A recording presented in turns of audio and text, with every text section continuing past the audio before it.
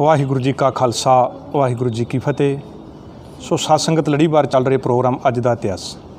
ਅੱਜ ਦਾ ਇਤਿਹਾਸ ਉਸ ਮਹਾਨ ਸ਼ਖਸੀਅਤ ਦੀ ਇਤਿਹਾਸ ਨੂੰ ਲੈ ਕੇ ਆਪ ਜੀ ਦੇ ਸਨਮੁਖ ਹਾਜ਼ਰ ਹਾਂ, ਜਿਸ ਨੂੰ ਗੁਰੂ ਨਾਨਕ ਸਾਹਿਬ ਮਹਾਰਾਜ ਜੀ ਦੇ ਨਾਲ ਆਪਣੇ ਜੀਵਨ ਦੇ ਲਗਭਗ ਲਗਭਗ 47 ਸਾਲ ਰਹਿਣ ਦਾ ਮੌਕਾ ਮਿਲਿਆ। ਮੇਰੀ ਕਹਿਣ ਤੋਂ ਮੁਰਾਦ ਤਨ ਭਾਈ ਮਰਦਾਨਾ ਜੀ। ਗੁਰੂ ਨਾਨਕ ਸਾਹਿਬ ਮਹਾਰਾਜ ਜੀ ਤੋਂ ਉਮਰ ਤੋਂ ਲਗਭਗ ਲਗਭਗ 17 ਸਾਲ ਵੱਡੇ ਭਾਈ ਮਰਦਾਨਾ ਜੀ ਨਾਲ ਜਦੋਂ ਗੁਰੂ ਨਾਨਕ ਸਾਹਿਬ ਦੀ ਮੁਲਾਕਾਤ ਹੁੰਦੀ ਹੈ ਤੇ ਗੁਰੂ ਨਾਨਕ ਸਾਹਿਬ ਉਹਨਾਂ ਨੂੰ ਪੁੱਛਦੇ ਨੇ ਕਿ ਆਪ ਜੀ ਦਾ ਨਾਮ ਕੀ ਹੈ ਕੀ ਕਰਦੇ ਹੋ? ਤੇ ਉਹਨਾਂ ਨੇ ਇੱਕ ਗੱਲ ਕਹੀ ਵੀ ਸਾਡਾ ਨਾਮ ਲੋਕੀ ਆਪਣੀ ਜ਼ੁਬਾਨ ਦੇ ਉੱਤੇ ਨਹੀਂ ਲੈਣਾ ਚਾਹੁੰਦੇ। ਪੁੱਛਿਆ ਕਾਰਨ ਕਹਿੰਦੇ ਸਾਨੂੰ ਸੰਸਾਰ ਦੇ ਵਿੱਚ ਜਿਹੜਾ ਹੈ, ਉਹ ਮਰਾਸੀ ਕਰਕੇ ਜਾਣਿਆ ਜਾਂਦਾ ਹੈ। ਇਸਲਾਮ ਧਰਮ ਦੇ ਵਿੱਚ ਇੱਕ ਮਰਾਸੀ ਇੱਕ ਜਾਤ ਹੈ ਜਿਨ੍ਹਾਂ ਦਾ ਕੰਮ ਕੇਵਲ ਜਿਹੜਾ ਹੈ ਗਾਣਾ ਵਜਾਣਾ ਔਰ ਲੋਕਾਂ ਦੀ ਵਿਆਹ ਸ਼ਾਦੀ ਖੁਸ਼ੀ ਗਮੀ ਦੇ ਵਿੱਚ ਉਹ ਲੋਕਾਂ ਦੇ ਘਰ ਜਾ ਕੇ ਉਹਨਾਂ ਦਾ ਕੰਮਕਾਜ ਕਰਕੇ ਜਾਂ ਖੁਸ਼ੀ ਕਿਸੇ ਦੇ ਬੱਚੇ ਦੇ ਜਨਮ ਵੇਲੇ ਉੱਥੇ ਗਾ ਕੇ ਆਪਣਾ ਪਰਿਵਾਰ ਪਾਲਦੇ ਨੇ।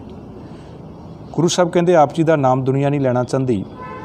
ਤੁਸੀਂ ਕਰਦੇ ਕੀ ਹੋ ਭਾਈ ਮਰਦਾਨਾ ਜੀ ਦਾ ਜਵਾਬ ਸੀ, ਮੈਂ ਰਬਾਬ ਵਜਾਨਾ ਸਤਿਗੁਰ ਕਹਿਣ ਲੱਗੇ, ਮਰਦਾਨਿਆਂ, ਤੂੰ ਕਹਿੰਦਾ ਮੇਰਾ ਕੋਈ ਨਾਮ ਨਹੀਂ ਲੈ ਰਿਹਾ।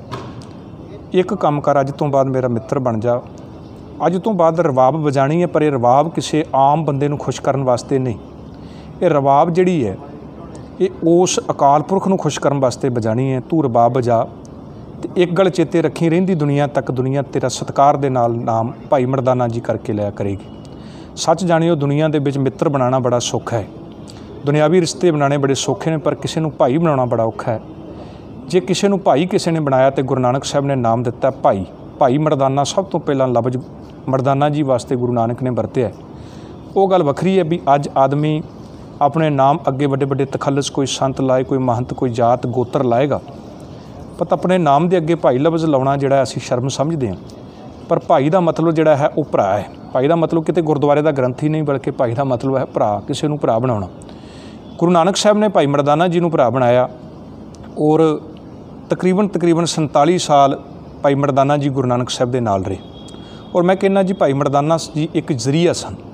ਜਦੋਂ ਵੀ ਗੁਰੂ ਨਾਨਕ ਸਾਹਿਬ ਨੇ ਕਿਸੇ ਦਾ ਉਧਾਰ ਕਰਨ ਵਾਸਤੇ ਜਾਣਾ ਤੇ ਭਾਈ ਮਰਦਾਨਾ ਜੀ ਇੱਕ ਜ਼ਰੀਆ ਸਨ, ਚਾਹੇ ਵੈਸ਼ਨਵ ਸਾਧ ਦਾ ਉਧਾਰ ਕਰਨਾ ਹੋਵੇ, ਉਹਦੇ ਕੋਲ ਵੱਗ ਮੰਗਣੀ, ਜਾਂ ਕਿਸੇ ਦੇ ਕੋਲੋਂ ਪਾਣੀ ਮੰਗਣਾ, ਇਹ ਇੱਕ ਜ਼ਰੀਆ ਭਾਈ ਮਰਦਾਨਾ ਜੀ ਬਣਦੇ ਸਨ ਔਰ ਇਹਦੇ ਦੁਆਰਾ ਕੋਤਕ ਭਾਈ ਮਰਦਾਨਾ ਜੀ ਰਚਾਉਂਦੇ ਸਨ ਔਰ ਉਹਨਾਂ ਲੋਕਾਂ ਨੂੰ ਸਮਝਾਉਣ ਦਾ ਕੰਮ ਗੁਰੂ ਨਾਨਕ ਸਾਹਿਬ ਕਰਦੇ ਰਹੇ ਨੇ।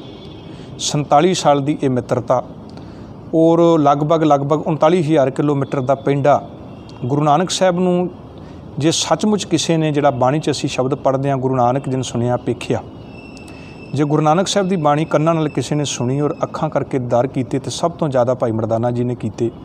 ਔਰ ਉਹ ਭਾਈ ਮਰਦਾਨਾ ਜੀ 47 ਸਾਲ ਗੁਰੂ ਨਾਨਕ ਸਾਹਿਬ ਮਹਾਰਾਜ ਜੀ ਦੇ ਨਾਲ ਰਹੇ। ਸਮਾਂ ਆਇਆ ਕਰਤਾਰਪੁਰ ਸਾਹਿਬ ਦੀ ਧਰਤੀ ਤੇ। ਉਹ ਸਮਾਂ ਆਇਆ ਜਦੋਂ ਭਾਈ ਮਰਦਾਨਾ ਜੀ ਗੁਰੂ ਨਾਨਕ ਸਾਹਿਬ ਮਹਾਰਾਜ ਦੀ ਗੋਦ ਦੇ ਵਿੱਚ ਉਹਨਾਂ ਦਾ ਸਿਰ ਹੈ।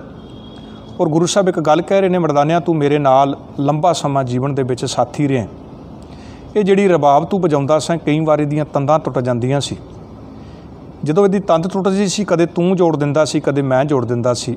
ਪਰ ਸੱਚ ਜਾਣੀ, ਅੱਜ ਜੀਵਨ ਦੀ ਤੂੰ ਉਸ ਮੰਜ਼ਿਲ ਤੇ ਪਹੁੰਚਿਆ ਮਰਦਾਨਿਆ ਜਿੱਥੇ ਤੇਰੀ ਸਰੀਰ ਰੂਪੀ ਤੰਦ ਟੁੱਟ ਰਹੀ ਹੈ ਔਰ ਇਸ ਤੰਦ ਨੂੰ ਨਾ ਤੂੰ ਜੋੜ ਸਕਦਾ ਹੈ, ਨਾ ਇਸ ਤੰਦ ਨੂੰ ਜੋੜਨਾ ਨਾਨਕ ਦੇ ਹੱਥ ਵਿੱਚ ਹੈ।